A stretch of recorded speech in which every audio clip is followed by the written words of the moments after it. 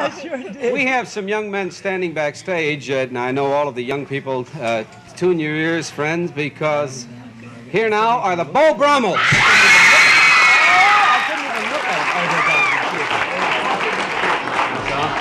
Hi, how are you? Now, uh, when we hired you, fella, here, st- step up here if you will, please.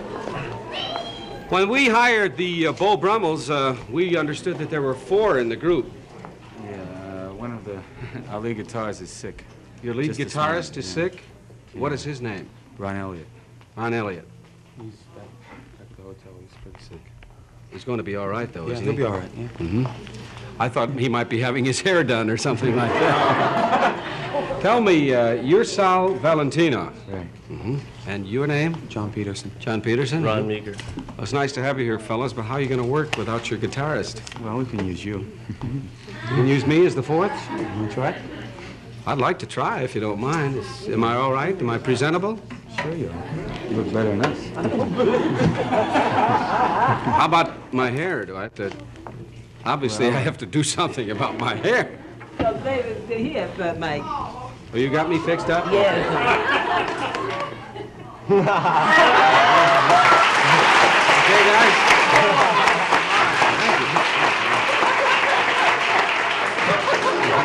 I mean, it is a problem, fellows, when you have to do that, isn't it? I, I, wait a minute, I need a couple minutes to get used to that.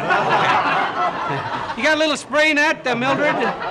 This one curl's got me, and now I don't know the tune, so I'll, if you got, it- they have it written down for me. Is that, is that it? That's all you got to sing. Yeah. So I cried just a little 'cause I loved you so, and I died just a little 'cause I have to go, and I do. I'll be right back. no, uh, let's go. I'm ready. Are you ready?